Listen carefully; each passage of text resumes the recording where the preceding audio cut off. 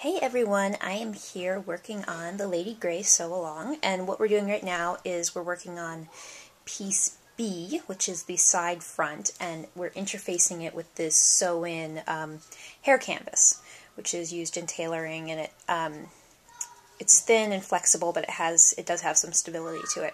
So what we're doing is we're permanently basting this to the outer fashion fabric, and I've already started a line of basting right here.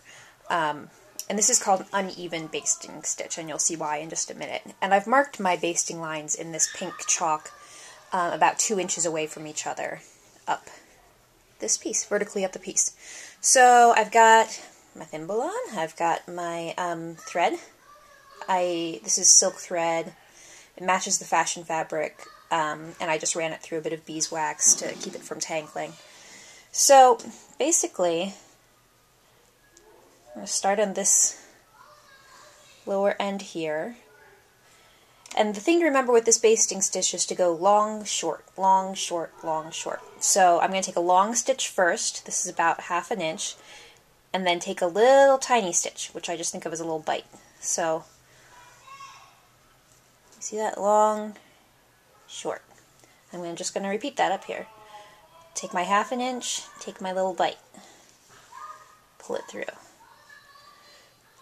half an inch, little bite. So when I take that little bite, I'm just getting a little tiny piece of that fashion fabric and not going through to the outer side. Um, this is really easy with my fabric because it's a tweed and so it has so much texture that um, you can't you can't see any of these stitches anyway. But if your fashion fabric is very smooth, like a Melton or a flannel, just be really careful to only get a thread on the back of that fabric with your little bite. So I hope you can see what I'm doing here. It's just half long stitch, half an inch, tiny bite. Long stitch, tiny bite. And that's it. I'm just going to keep going up like that, and that is going to hold this hair canvas to the side piece permanently. Okay, thanks guys. I hope that helped.